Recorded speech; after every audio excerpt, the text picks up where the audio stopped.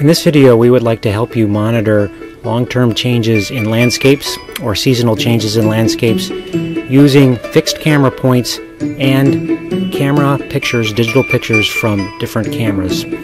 And to do that, we'll give you a little tutorial on using PTGui, which is a photo stitching program, to essentially standardize shots and cameras and camera formats into one standardized picture and then you'll be able to take those standardized pictures and put them into a video showing change over time. And you'll also be able to measure within the pictures differences in, say, um, rates of erosion or amount of snowfall or tree growth over long periods of time. And these kinds of things can then be used in a network either within a park or within a region as part of a citizen group or a watershed society to track environmental changes both in uh, rural landscapes, also in urban landscapes.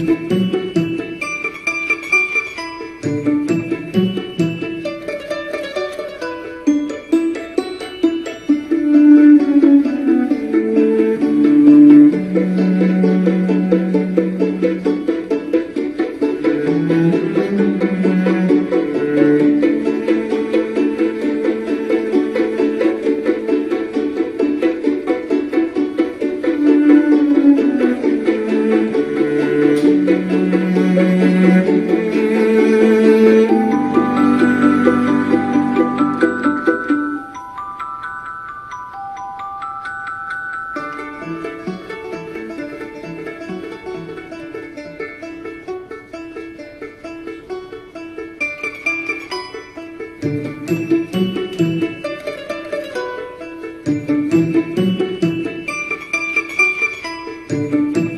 this experiment, we used two different kinds of cameras, two different formats.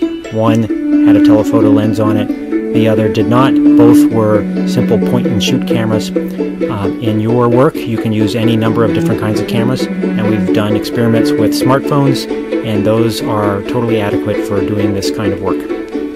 So what you do need to have in this kind of work is a fixed camera point. In other words, the camera has to have the same angle, the same height, and roughly the same uh, direction on each shot. Small variations are fine, but by having a fixed point, you get rid of a lot of the problems of uh, putting together cameras from different formats. So you don't need to have a post, although you could. You could make a camera point, or you can simply attach a bracket to a wall, to a tree. You can use a bridge abutment. You can use a feature on a building that's a ledge or a lamp post. Any particular spot that can be used over and over is fine. You just simply have to be consistent in how you um, hold the camera up against it. So you want something that is at right angles and that the camera can rest up against that forces it to be in the same direction and view each time. This is extremely easy to do. Any number of people can participate, young or old. They just have to have a digital camera. Okay, what follows is a tutorial on how to use PTGui to make these corrections to um, different photographs in different formats. We're opening PTGui now. We're going up. PTGui is opening. We're going to load images. These are four images we've chosen using two different camera types. You can see the dimensions are quite different, but the scene is the same, taken from the same location. We open up the advanced um, dialog, and now we're going to set control points in those four pictures. We've um, set uh, picture number one, uh, which has the largest dimensions, um, as the master picture, and it's now called picture zero actually. And what we're doing is we're choosing a set of points that pair the master picture to each of the three additional pictures. And what we're looking for are features in the uh, photographs that match that you can be, find readily. Um, and um, we are marking them.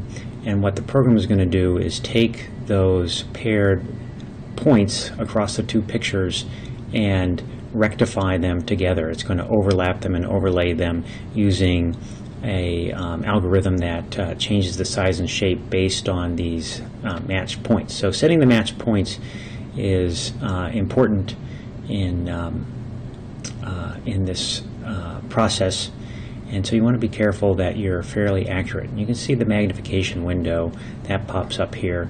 That's going to be very helpful in being as accurate as possible in setting the points. There'll be a little dialog box later that flashes on the screen that allows you to look at your average um, error rate in um, setting control points. Now we're doing the very last one and we're continuing with the same uh, process here at the top of the lamppost, fixing a point, fixing another point on the top of the lamppost in the other picture, and we're going to a nice corner in the parking lot that has a clear white uh, line. In more natural scenes, you'd be looking for tree limbs and um, rock outcrops and um, uh, other features. And in some cases, you could actually even put in um, features into a um, natural scene that um, uh, doesn't have good control points, or at least you don't think they do. Um, something like a, a post or a stake or a colored marker would be fine, although that might destroy the view. Okay, we're finished. We're going to lens settings, and we're hitting restore defaults, even though everything is already zero, but in other times there might be numbers there. You want to clear all that out. And now we're going to go down and we're going to click image 1, 2, and 3, limit, leaving, importantly, image 0 off. Now we're going back to um, Project Assistant, getting rid of the automatic um, entry of lens data. Uh, may not be important, but I think it's um, useful to do. Um, we're going to Optimizer now, clicking the Advanced button. We're getting rid of the check marks that allow optimization of a set of um, lens features. So we're turning them off, we're leaving FOV on and um, field of view and lens distortion on. So we clicked, we ran optimization, it said it wasn't bad, could have seen the points. Now we're going to the um, picture editor. We're fitting the panorama. It's considering this to be a panorama onto the screen. It was very small before. It's just a sizing routine. We went to the individual pictures, and you can see they now overlay on top of each other um, with the different sizes now rectified to one another. Now what we want to do is create a set of new pictures from these um, overlapped or corrected pictures that are all the same size and shape. So what we're doing is cropping the edges down to the smallest picture. There's another cropping tool in that uh, program that you can use too. We've gone back to create panorama. Um, we're doing individual pictures and we're now going to change the uh, name of the output files to, in this case, test individual layers only, I should have said, rather than individual pictures. We're creating the panorama. It's creating four new pictures from the, they call it warping, but it's really corrected or rectified um, shots that are now all synchronized together, so they're in the size and shape, uh, the size and shape are the, exactly the same. So uh, and we'll finish that. Now we'll go down and we'll take a look at the, um, the resulting pictures. So we're clicking on uh, picture zero. This was the original master picture, and we're going to go through the others, and you'll see that the size and shape, even though the scene is quite different in terms of seasonality, the, the lamppost and the trees are all in the same place. And that's exactly what we want to do because now we can take those pictures or a much larger string, PT GUI can do hundreds of pictures, and dump them to a um, time-lapse um, feature within almost any video program. And then you have a set of corrected pictures. Thank you very much. Here are a small set of considerations to take this to the next level. So first of all, almost any video program can take a series of pictures and make them into a video, so you're not limited there. If you want, um, and want to take this to the next step, all this um, material here is done within stitching programs. It seems that a new software package that is optimized to um, create and standardize pictures may already exist or it could exist if someone like you created it. Uh, at least among different cameras. It will do it.